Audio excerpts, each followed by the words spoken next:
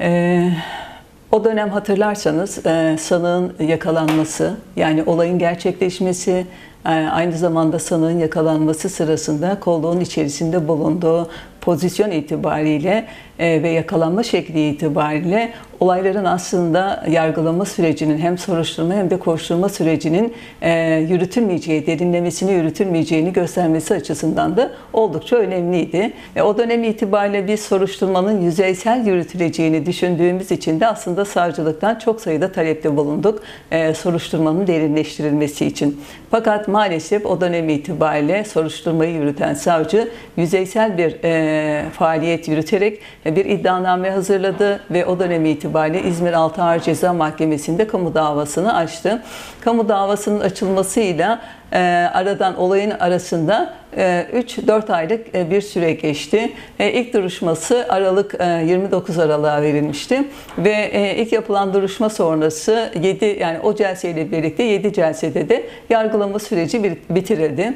Biz aslında soruşturma aşamasında yapılmayan işlemlerin tamamının yargılama aşamasında mahkeme tarafından yapılmasını ısrarla talep ettik. Fakat mahkeme de hakikatin hakikat arayışını yetki belgesi tartışmalarına gömdü ve tercih etti. E, katılanları ve katılan avukatlarını duruşma salonlarından uzak tuttu. Ve son e, yapılan e, iki duruşma Şakran'da yapıldı biliyorsunuz. Ve Şakran'daki iki celseye de avukatlar alınmadılar. Ne katılanlar ne de avukatları e, alınmadılar. Ve bizim olmadığımız bir yargılama süreciyle e, yargılama süreci sonlandırıldı. Onur Gencer'e ağırlaştırılmış müebbet hapis cezası verildi. Aynı zamanda da diğer suçlar itibariyle de toplamda 9 yıl hapis cezası e, verilerek ilk derece mahkemesindeki yargılama süreci tamamlandı. Yani Ceferi Güven'i yapmış olduğu bir YouTube e, haberi var. O haberinde WhatsApp yazışmalarının e, ele geçirildiği aslında sanığın WhatsApp yazışmalarının emniyetin elinde olduğu ve bu yazışmalarda da MHP Genel Merkezi'ni işaret ettiğini söylüyor.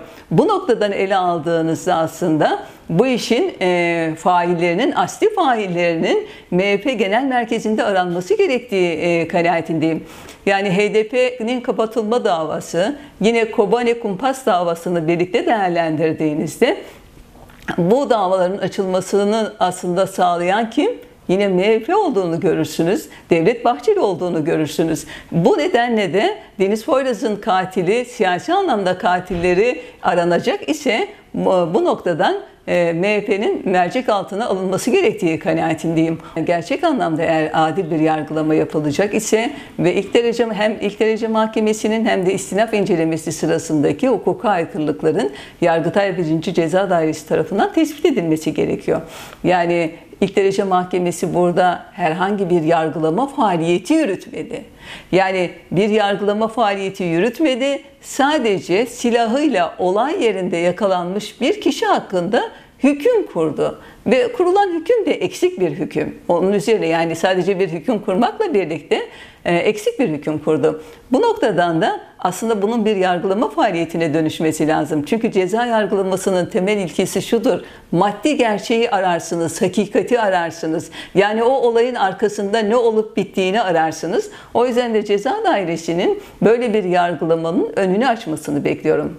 Yani birinci ceza dairesinden beklentim bu. O yüzden dosyanın bozularak ilk derece mahkemesine geri gönderilmesi ve sana e, sanığı azmettirenlerin, yardım edenlerin bir bütün olarak e, siyasi failleriyle birlikte ortaya çıkarılmasını sağlayacak bir yargı sürecinin önünü açmasını bekliyorum.